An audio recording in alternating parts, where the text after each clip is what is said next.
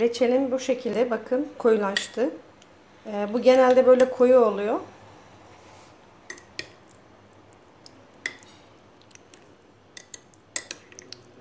Şöyle bakın kıvamı bu. Normal akışkan olmaz bu. Benim gösterdiğim şekilde e, paketleyin çünkü daha e, pişirirseniz çok daha sert olur. Böyle çok bayağı sulu sulu koyun şişelerinize. Yoksa bundan daha koyu olur. Şimdi reçelin yapımına geçiyorum. Merhaba arkadaşlar. Sevgiyle Yaşam kanalıma hoş geldiniz. Bugün böğürtlen reçeli yapacağım. Böğürtlenleri markette görünce dayanamadım aldım. Muhteşem bir görüntüleri var. Çok çok canlılar böyle. E, böğürtlen reçeli yapmak için 1,5 kilo böğürtlen var burada. 1,5 kilo böğürtlene 1-200 gram e, şeker ekleyeceğim. Siz bunu 1 kilo da yapabilirsiniz. Ben birazcık daha e, şekerli seviyorum. 1-200 yaptım. Hadi bire de koyabilirsiniz. Yani 1,5 kilo böğürtlen, 1,5 kilo şeker yapabilirsiniz. Bunu e, ben yine birazcık da şekerden kıstım. E, 1-200 gram, 1 kilo 200 gram yani. Şimdi öncelikle e, böğürtlenlerimi böyle bir süzgecime koyarak üzerinden e, su tutacağım. Bir e, tozu toprağa gitsin diye. Şöyle böğürtlenleri buraya döküyorum. Çok kıymetli, çok değerli bir e, üründür böğürtlen. Hem faydalı hem de çok fazla bulunmadığı için çok pahalı. Şöyle hepsini dökeceğim.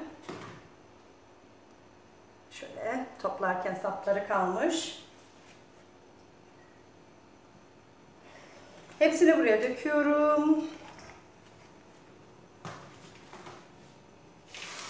Şöyle gayet de güzel görünüyorlar. Çok güzel görünüyorlar. Bunları çöpe atacağım. Şimdi bu böğürtlenlerimi bir sudan geçireceğim. Şöyle yapalım arkadaşlar. Sizler daha iyi göresiniz diye kameramı yerleştiriyorum.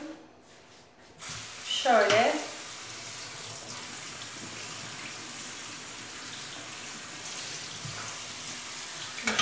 olabilir.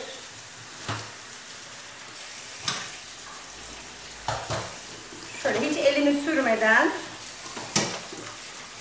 yavaş yavaş attırarak yıkıyorum. Tencereye korken ayıklayacağım biraz.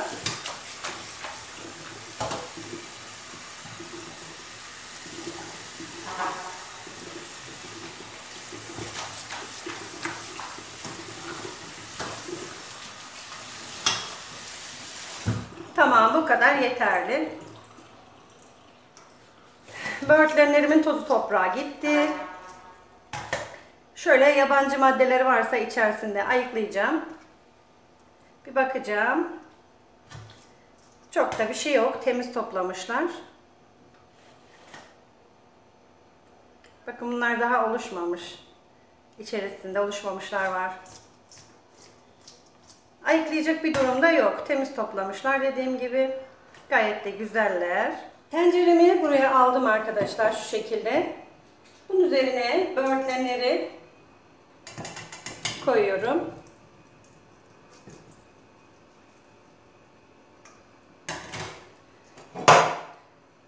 Böğürtlenleri tencereye aldım. Üzerine de şekeri ekleyeceğim.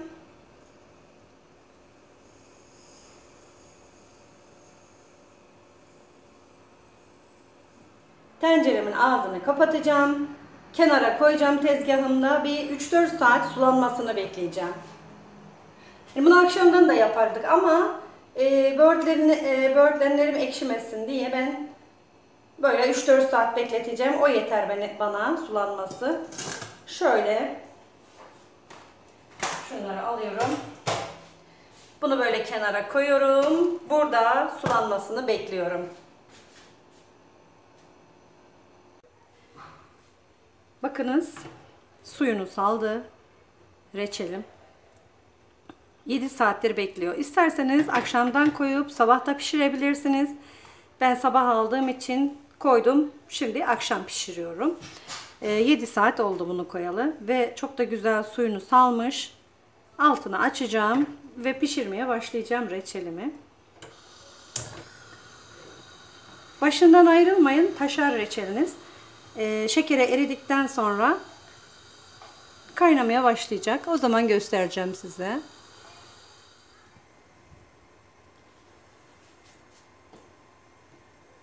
Reçelim böyle kaynadıkça şu şekilde yapalım ki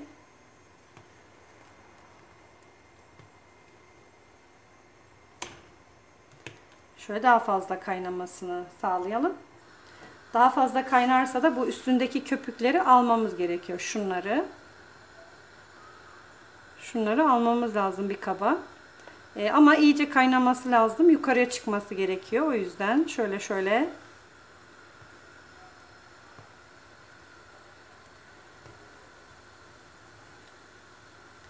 Börtlen e, reçelini yapıp sevdiklerinize yedirin arkadaşlar. Çok faydalı bir bitki. E, şekerini çok az koyun ama. Börtleni sade yemeniz tabii ki daha iyi ama kışa saklayamazsınız. Kahvaltılarda reçel olarak da çok az yemek kaydıyla bir sıkıntı yaratmaz. Şöyle altını kısacağım. Bakın köpükler nasıl yukarıya kadar çıktı. Şunları şöyle şöyle yavaş yavaş kenara toplayacağım. Çok fazla karıştırmayın ezilmesin. Ezilmesini istemiyorum. Biraz böyle tane tane olsun istiyorum. Şöyle.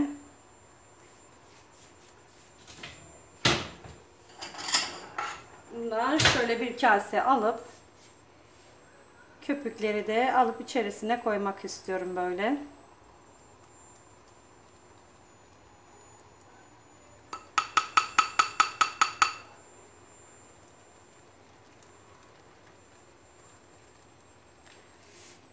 kenara kenara çekelim köpükleri.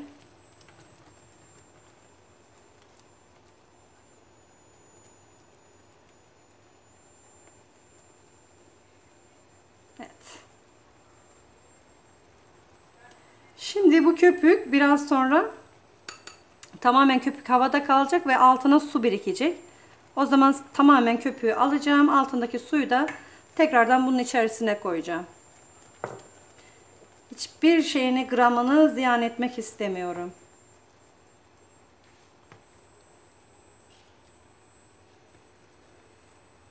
Şöyle yavaş yavaş karıştırayım. Şimdi asıl köpükleri çıkacak var olanlar.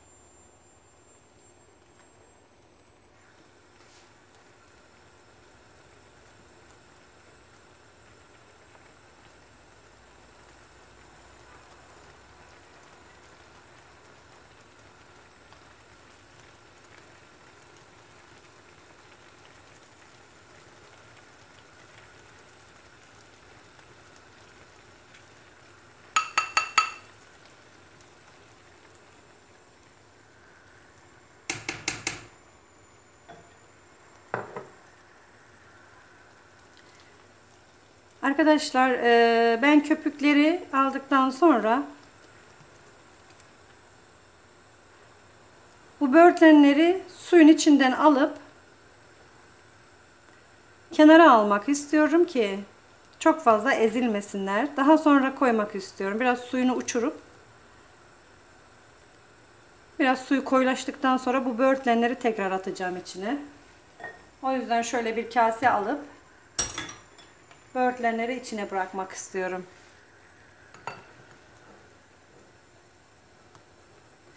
Şöyle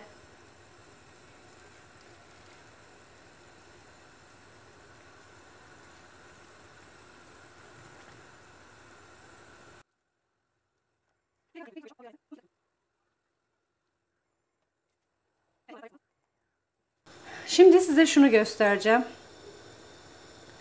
Bakın köpük tamamen yüzünde kalıp şeklinde kaldı. Ve ben bu suyu ziyan etmek istemiyorum. Bunları lavaboya atacağım. Çöpe gidecek.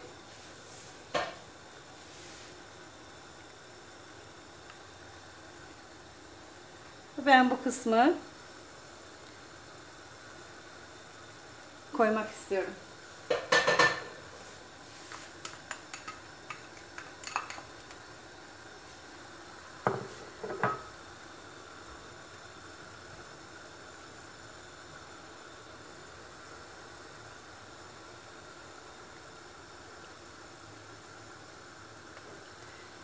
Yine oluşan köpükleri şöyle yavaş yavaş alabilirsiniz.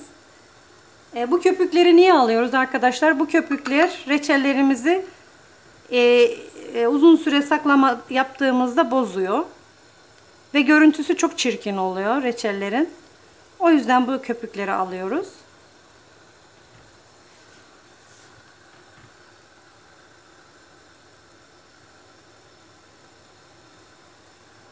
Taneleri aldıktan sonra 10 dakika kaynattım. Sonra taneleri üzerine ekliyorum.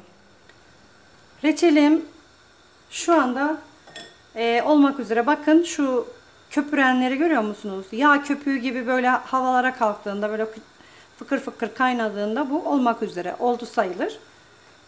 E, şu çay kaşığımla da böyle bir tane yağı ekleyeceğim içine.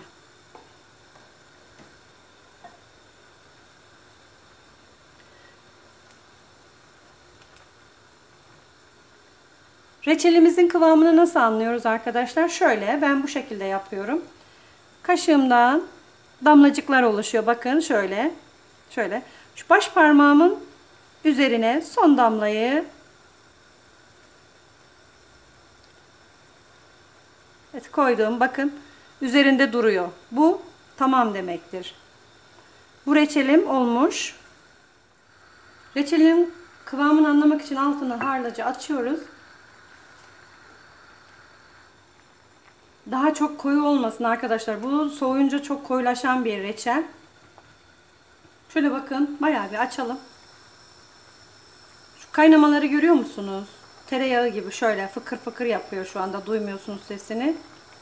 Bu kıvam tamam. Böyle jöle gibi olsun istemiyorum ben. Ve şişemi doldurmaya başlayacağım. Hemen altını kısıyorum sıcak kalsın diye. Şişeyi böyle dolduruyorum.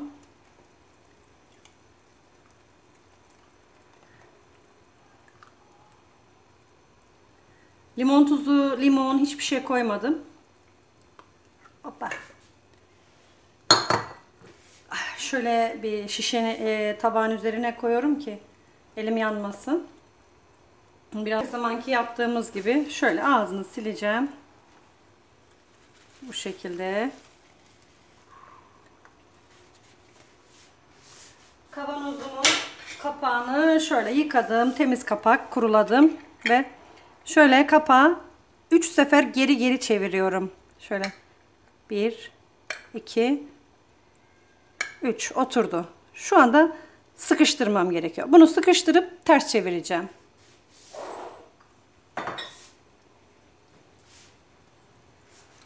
Ve sıkıştırıyorum arkadaşlar. Sıkabildiğiniz kadar sıkın ve şu şekilde ters çevireceğim. Kenara koyacağım bunu. Ee, şişemi kenara koydum. Bir gece bekleyecek. Hepsini şişeleyeceğim şimdi bunların.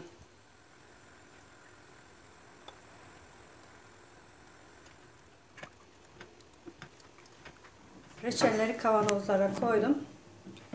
Vakumlanacak sabaha kadar. Şimdi üstlerini örtüyorum. Sabaha kadar duracak bunlar arkadaşlar. Bu da e, kavanozlardan artan reçelim. Şu anda sıcak. Şöyle bakın akışkan. Ama sabah bunu görün. Sertleşmiş olacak. Bunu da kenara koyacağım. Kahvaltılık için tüketeceğim bunu. Arkadaşlar görürseniz pazarlarda alın reçelini yapın muhteşem bir şekilde. Güzel oluyor. Muhteşem bir tadı var. Evet. Yapan arkadaşlara afiyet olsun diyorum. Reçelim bu şekilde bakın koyulaştı. Ee, bu genelde böyle koyu oluyor.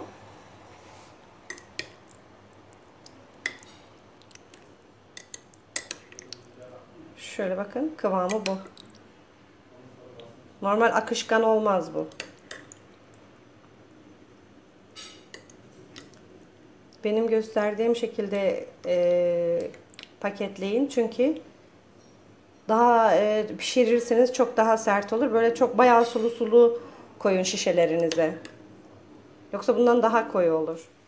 Böğürtlen reçeli yapan arkadaşlarıma afiyet olsun diyorum. Kanalımı takip etmeyi unutmayın arkadaşlar.